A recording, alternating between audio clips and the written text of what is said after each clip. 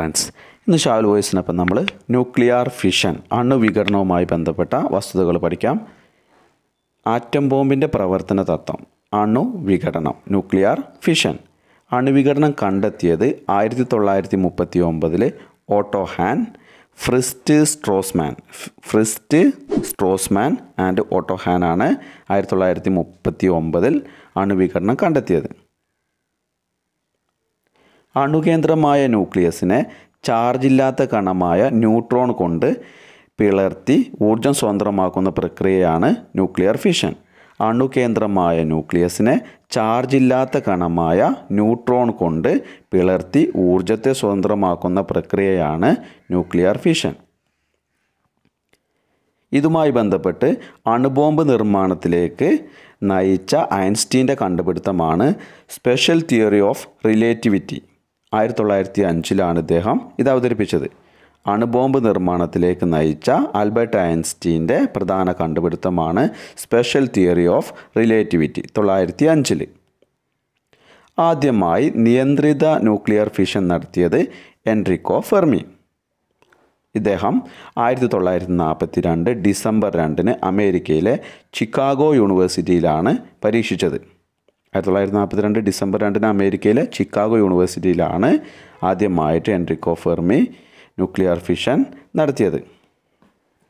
അണുബോംബ് നിർമ്മാണത്തിന് ഉപയോഗിക്കുന്ന സ്വാഭാവിക യുറേനിയമാണ് യുറേനിയം ഇരുന്നൂറ്റി മുപ്പത്തിയഞ്ച് ഇത് സമ്പുഷ്ട യുറേനിയം എന്ന പേരിലാണ് അറിയപ്പെടുന്നത്.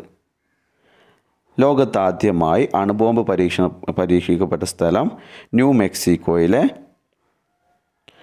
അലമോർഗോ.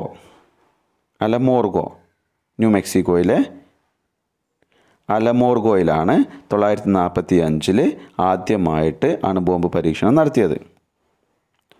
ആദ്യമായിട്ട് അണുബോംബ് പ്രയോഗിക്കപ്പെട്ട സ്ഥലമാണ് ഹിരോഷിമ ജപ്പാനിലെ ഹിരോഷിമയിലാണ് അണുബോംബ് പ്രയോഗിക്കപ്പെട്ട സ്ഥലം. ഹിരോഷിമയിൽ പ്രയോഗിച്ച യുറേനിയമാണ് യുറേനിയം ബോംബാണ് ലിറ്റിൽ ബോയ്. നമ്മുടെ ഹിരോഷിമയിൽ ജപ്പാനിലെ ഹിരോഷിമയിൽ പ്രയോഗിക്കപ്പെട്ട യുറേനിയം അണുബോംബാണ് ലിറ്റിൽ ബോയ്. ഹിരോഷിമയിൽ ആദ്യം അണുബോംബ് ഇട്ട വി വിമാനമാണ് Enola Gay Enola Gay B nine twenty nine എന്ന ബോംബർ വിമാനം. Enola Gay B twenty nine എന്ന ബോംബർ വിമാനം. ഈ വിമാനത്തെ നയിച്ചത് പോൾ ടിബറ്റാണ്. പോൾ ടിബറ്റാണ് എനോലാഗെ ബി ട്വന്റി നയനെ നയിച്ചത്. ജപ്പാനിൽ അണുബോംബ് പ്രയോ പ്രയോഗിച്ച വർഷമാണ് തൊള്ളായിരത്തി നാൽപ്പത്തി അഞ്ച് ഓഗസ്റ്റ് ആറ്. അതുപോലെ ജപ്പാനിലെ തന്നെ നാഗാസാക്കിയിൽ ആയിരത്തി തൊള്ളായിരത്തി നാൽപ്പത്തി അഞ്ച് ഓഗസ്റ്റ് ഒമ്പതിന് ഫാറ്റ്മാൻ എന്ന പ്ലൂട്ടോണിയം ബോംബ് വർഷിച്ചു. ഫാറ്റ്മാൻ നാഗസാക്കിയിൽ ബോംബിട്ട വിമാനമാണ് B twenty nine Super Forts. B twenty nine Super Forts നാഗാസാക്കിയിൽ bomb പ്രയോഗിച്ച വൈമാനികനാണ് ചാൾസ് സ്വിനി എന്ന് പറയുന്നത്. ചാൾസ് സ്വിനി ജപ്പാനിലും ഹിരോഷിമയിലും ജപ്പാനിലെ ഹിരോഷിമയിലും നാഗാസാക്കിയിലും അണുബോംബിന്റെ ദുരന്ത ഫലങ്ങൾ അനുഭവിച്ചു കഴിയുന്ന ആളുകളാണ് ഹിബാകുഷുകൾ എന്ന് പറയുന്നത്. ഹിബാകുഷ്. അണുബോംബ് വികസിപ്പിക്കാൻ വേണ്ടിയിട്ടുള്ള അമേരിക്കയുടെ ഒരു പദ്ധതിയാണ് Manhattan project. Manhattan project. Manhattan പ്രൊജക്റ്റിന്റെ തലവനായിരുന്നു Robert Oppenheimer Robert Oppenheimer India ആദ്യമായിട്ട് അണുബോംബ് പരീക്ഷണം നടത്തിയത് ആയിരത്തി തൊള്ളായിരത്തി എഴുപത്തി നാല് മെയ് പതിനെട്ട് രാജസ്ഥാനിലെ പൊക്രാനിൽ.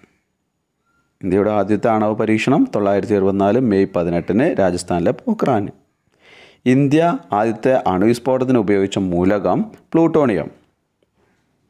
നമ്മുടെ നാഗാസാക്കിയിൽ ഉപയോഗിച്ചത് പ്ലൂട്ടോണിയം. ആറ്റം ബോംബിന്റെ പിതാവ് എന്നറിയപ്പെടുന്നത് റോബർട്ട് ഓപ്പൺ ഹൈമർ ഇത് തെറ്റിക്കരുത്. ഓട്ടോഹാൻ എന്താണ്? ന്യൂക്ലിയർ ഫിഷൻ കണ്ടുപിടിച്ച വ്യക്തിയാണ് കേട്ടോ. അണുവിഘടനം കണ്ടെത്തിയത്. ആറ്റം ബോംബിന്റെ പിതാവ് റോബർട്ട് ഓപ്പൺ ഹൈമർ ഓക്കെ. അതുപോലെ ഇന്ത്യൻ അണുബോംബിന്റെ പിതാവാണ് രാജാരാമണ്ണ. അദ്ദേഹം ആയിരത്തി തൊള്ളായിരത്തി ഇരുപത്തി അഞ്ച് ജനുവരി ഇരുപത്തി എട്ടിന് കർണാടകയിലെ തുങ്കൂർ ഗ്രാമത്തിലാണ് ജനിച്ചത് രാജാരാമണ്ണ.